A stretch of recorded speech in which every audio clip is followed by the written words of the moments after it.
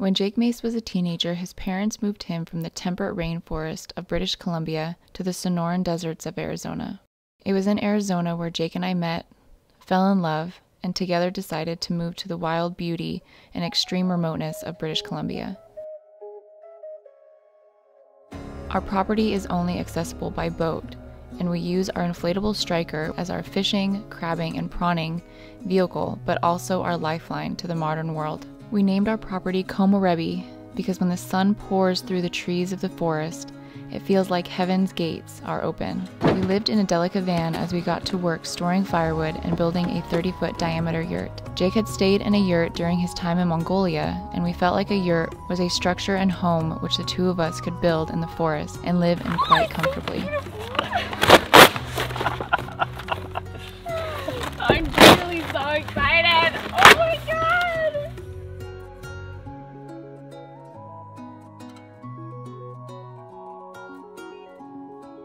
This is so nice.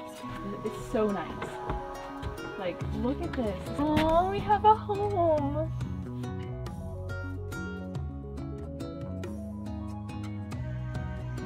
The hardest part of erecting the yurt was building the yurt platform. While completing the yurt lattice wall, roof rafters, side cover, and center ring with dome was a fun adventure. I don't think this is gonna happen. I can't.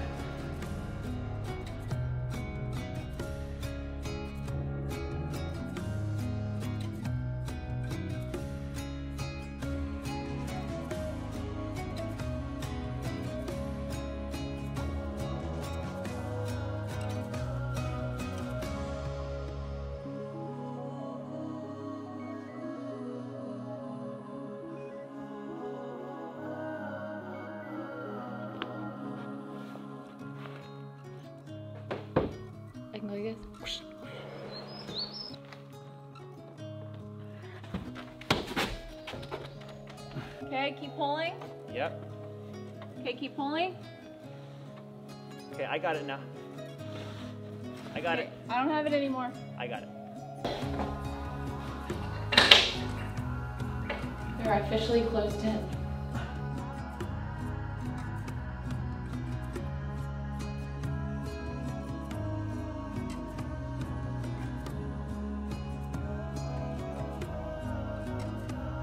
We now have been living in the yurt for almost four years. Here's how it looks today.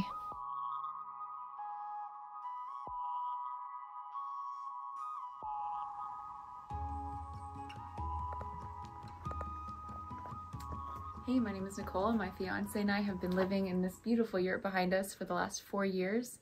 Um, I'm going to show you guys a yurt tour of the inside and the outside to show you guys what yurt life is really all about. I'm also talking kind of quiet because my 10 month old is sleeping right now, so it's not just Jake and I.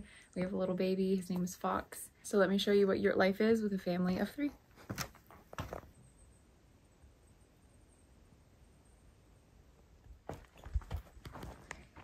So here's our massive wood shed.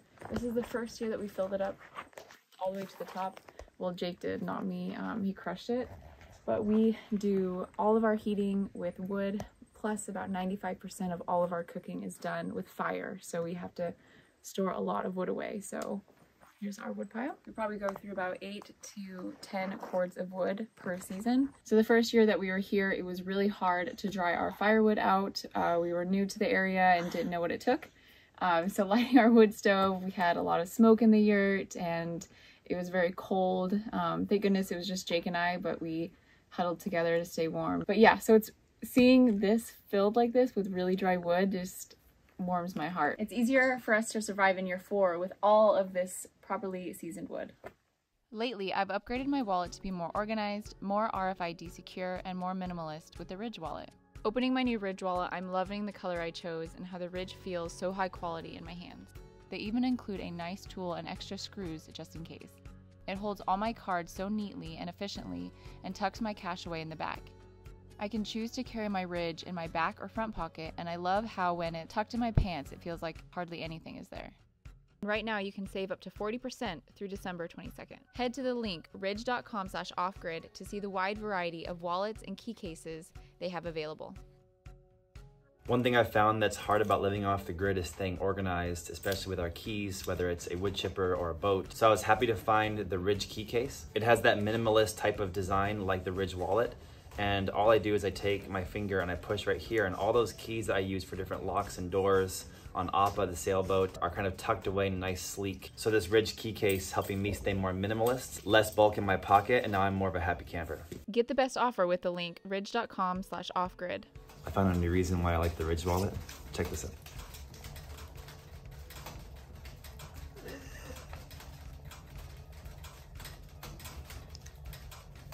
He smiles every time that he holds it. Do you like this? This is our salmon smokehouse. If you guys want to watch us uh, build it from start to finish, go check that out. Uh, we're not smoking any salmon right now, um, so it's just sitting here looking beautiful. But it works fantastic. And we also don't just do salmon. We've done garlic and dried mushrooms. Um, really, you can smoke anything.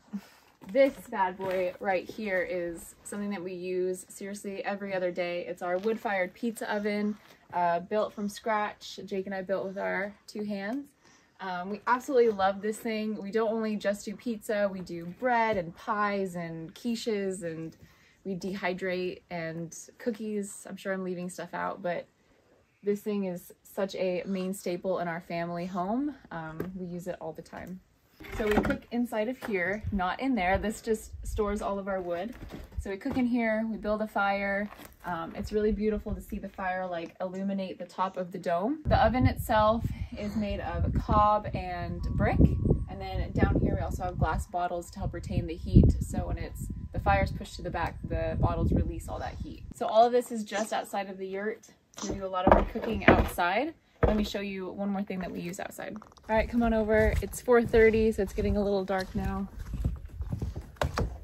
This was the first project that we ever did here, was this wok stove. Jake spent a lot of time in China, so we wanted to build an epic wok stove to make all of our Asian dishes. We use this for everything. We make a lot of stir fries. We have those bamboo steamers where we steam a lot of baozas and dumplings and squashes. This morning we used it for Sunday pancakes, a tradition. We always have pancakes on Sunday. And the yurt is literally just right here. We use we use this window to pass each other stuff. If he forgot something or if I forgot something, we use it to pass each other um, all the goodies for the wok stove. I don't know if you guys can see this patch, but we had a bear try to break in on this side. Um, we also had a bear try to break on on the other side, and then it was successful in the back there. Um, it actually got through the lattice wall, so those bears. But that was all in year one, but now we've had no bears break in year four. We're much better at bear defense um, in year four.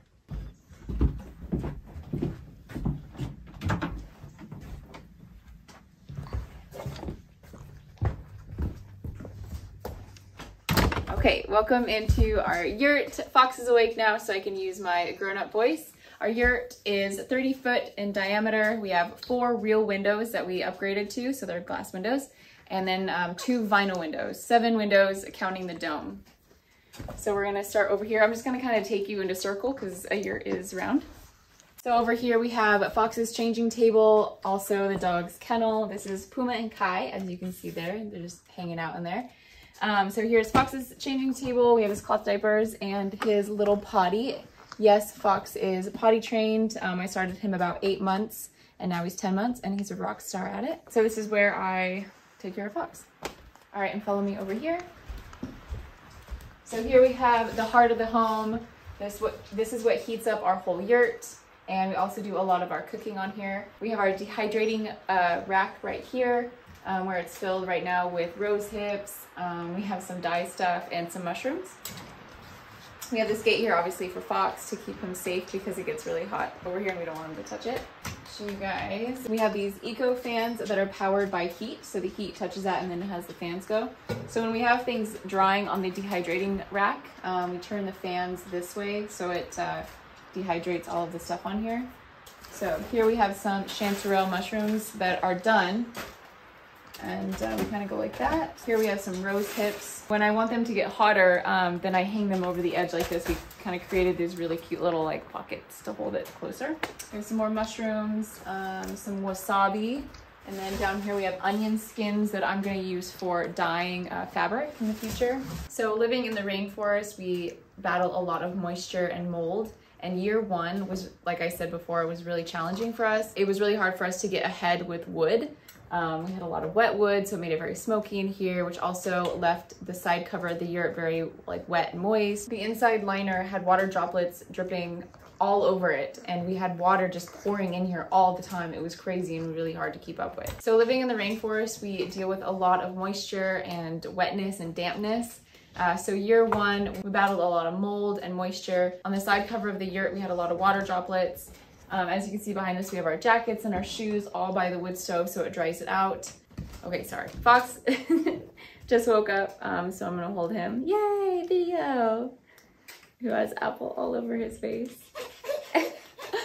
um, as I was saying, now that we're in year four and our wood is seasoned, um, it is feels almost too dry in here, which is great. Year one, it was hard for us to get it above 17. Now I think it's 23 Celsius in here, which feels great. So it's almost too dry in here to where we're bringing in wet wood in here to dry out to have a little bit of moisture in here. So it just shows you that year four, we've grown a lot since year one. Huh.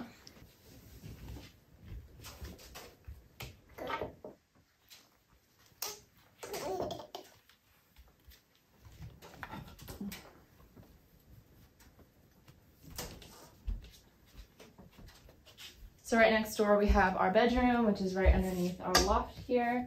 Um, we have our mattress on the floor um, because Fox sleeps with us. He also takes his naps here so he can crawl out of bed by himself um, safely so it's not too high.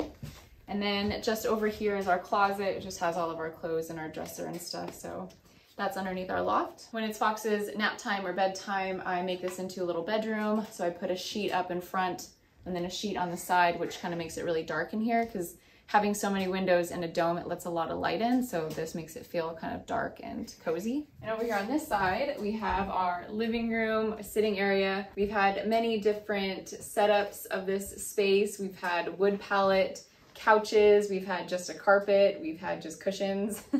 um, this I think is my favorite. This couch is really nice. It folds out into a bed as well. So if we have guests or company, they can stay here. Or if we have a movie night, then we can, you know, pull that out and have like a big comfy couch. We also have our two Bluetti lithium batteries on the side, um, one right here and then one on the other side.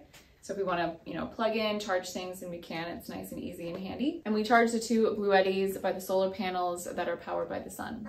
Behind me is, this is the first thing that we ever built here on the property, this shelf. I think this is the only thing that's actually like the original thing that's been here in the yurt.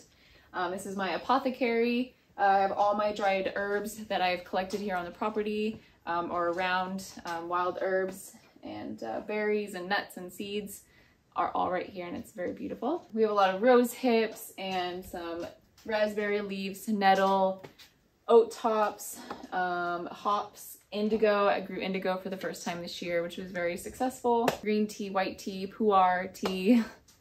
Um, we have our different teapots up here. And yeah, that's about it over here. Here's our dining room table. I found this um, at a store. This is made of recycled pallets, which I thought was really cool. Oh, and also shrinks up into a little smaller table. Jake's Apothecary, I guess. Well, it's both bars, but this is where we uh, save all of our seeds. Um, it's a really cool Chinese apothecary that has drawers that open. So it has a lot of our seeds that we've been saving over the years on there. And then I also have my tea uh, my tea tray on the top. Um, and we actually just moved this over here and I love it because I'm able to look outside while I'm drinking my tea. So now we're transitioning into our kitchen. If you follow our channel, you'll see that we're building a shipping container home. So we'll have a more professional setup kitchen. Ultimately, this will become a guest cabin or guest yurt for our friends and family.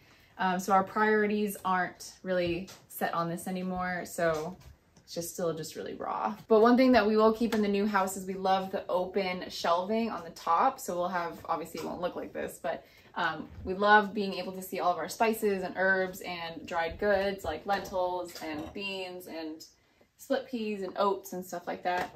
Um, we have all of our cups. So we love how everything is displayed, just be a little bit more orderly in the new house. But we did build this all ourselves um, with the live edge wood. Like this, I think was like the first boards that we've milled when we moved here. So this is a very special kitchen. It's just very raw and DIY. Here we have all of our pots above. We do all of our cooking at home, um, so we have a lot of pots.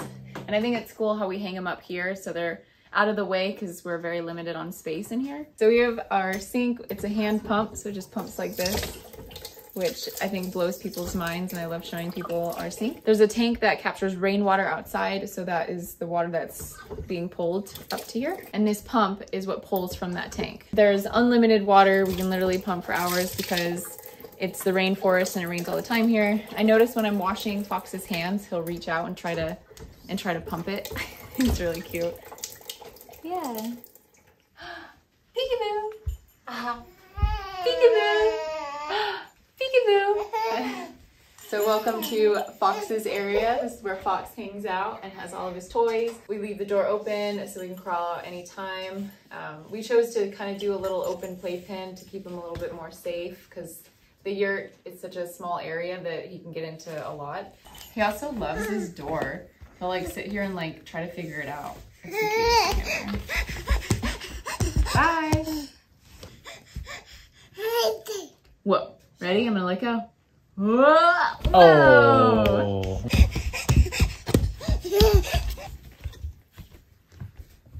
I think this is the last yurt tour we'll ever do. Yeah, it's kind of sad, but also really exciting. Maybe we'll do like year 15, what happened to the yurt. Yeah, that'd be, that'd be interesting. There's a lot more around our yurt. We have the hippie hot tub, we have the bunkie studio, uh, we have our outdoor shower. Um,